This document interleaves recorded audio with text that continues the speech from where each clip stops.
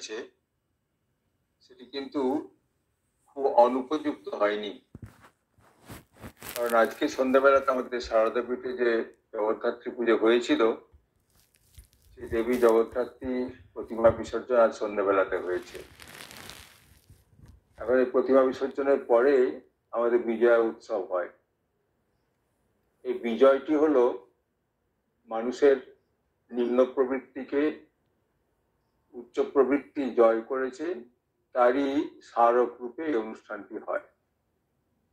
রামচন্দ্র রাবণকে যখন বধ করলেন রামচন্দ্র হচ্ছেন মানুষের প্রতীক। আর রাবণ হচ্ছে সে মানুষের যে মনুষ্যত্ব, ভালোবাসা, ভক্তি, এইগুলিকে ধ্বংস করে যে তার প্রতীক রাবণ রাক্ষস। আর সীতা দেবী হচ্ছেন সেই ভালোবাসা এবং ভক্তির মূর্ত প্রতীক। রামচন্দ্র নবমীর দিন রাবণকে বধ করলেন। অর্থাৎ যে এই মানুষের ভেতরে যে ভালোবাসা, ভক্তি থাকে, সেইটিকে নষ্ট করছে হয়ে তাকে তিনি ধ্বংস করলেন, করে সীতা দেবীকে লাভ করলেন।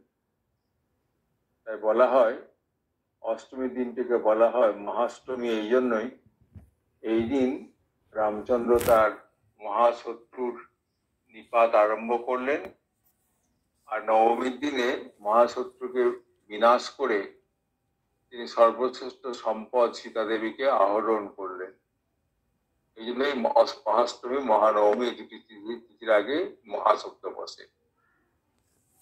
সেটি ওই দিককার কথা। আর যেটি হলো সেটিও কিন্তু আর একটি অসুরের কাহিনী। যে অসুর হাতির রূপ ধরে এসেছিল, যাকে বধ করলেন দেবী জগদ্ধাত্রী, দেখবেন ওই সিংহের পায়ের থাবার নিচে একটি হাতির মাথা আছে। হাতিকে হচ্ছে আমাদের মনের প্রতীক। মন না মত্ত হস্তি বলে না? আমাদের মন মত্ত হাতির মতো। এখান থেকে সেখান ছুটে বেড়াচ্ছে, কত কিছুকে ধ্বংস করছে, কত কিছু হিংসা, ঈর্ষা প্রভৃতি দিয়ে মানুষের জীবনে কত দুর্বিপাক টেনে নিয়ে আসছে। সেই হাতিটিকে বস করল সিংহ।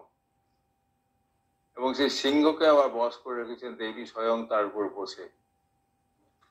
এই হাতিটি হচ্ছে তমগুণের প্রতীক, সিংহ রজগুণ, আর দেবী হচ্ছেন তিন গুণের অতীত সত্তা। যিনি সত্রতম তিন গুণের পারে থেকে সকলকে নিয়ন্ত্রণ করছেন। তো এই যে একটি মনকে বশ করার রূপ, জয়, মনকে জয় করার জন্য যে আনন্দ, সে আনন্দের দিন আজকের দিনটি। এটিও একটি বিজয়া অবশ্যই, কারণ একটি জয়লাভ করার পরে উৎসবটি হচ্ছে। এটা তাত্ত্বিক ব্যাপার। এবারে একেবারে জাগতিক বিষয়ে আসি।